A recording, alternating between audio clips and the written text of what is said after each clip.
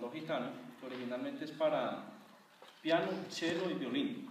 Entonces vamos a, en nuestra versión, vamos a interpretar ese movimiento del rondo gitano. Como podrán dar cuenta, los que son clarinetistas, a ese no le he hecho nada.